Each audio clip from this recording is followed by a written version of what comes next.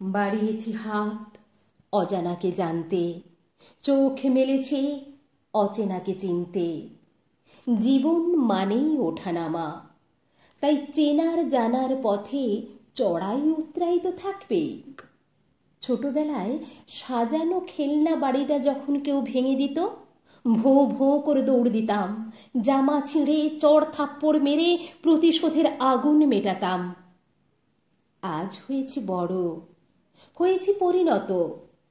বলার থেকে চুপ থাকতে শিখেছি বেশি। আঘাতের বিনিময়ে প্রত্যাঘাত নয়, বরং চিৎকারের থেকে নীরবতায় শান্তি খুঁজে পাই। কারণ ওই যে সব কথার শেষ কথা নীরবতা, হাজারটা বাঘ বিতণ্ডার পরেও যখন উল্টো দিকের মানুষটাকে কিছুই বোঝানো যায় না তখন নীরবতাই একমাত্র শ্রেয়। নীরবতাও আবারও একদিন ডানা মেলে, আবারও স্বপ্ন দেখে এই স্বপ্নময় পৃথিবীতে, আবারও বিশ্বাস করতে শুরু করে এই অবিশ্বাস ভরা দুনিয়ার কোনো এক মানুষকে।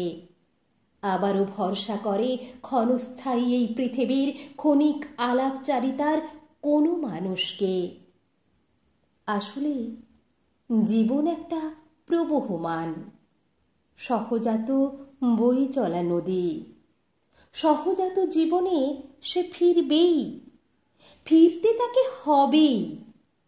মানুষের প্রকৃতি সহজাত। প্রকৃতি বিরুদ্ধ হয়ে বেশি দিন বাঁচা যায় না।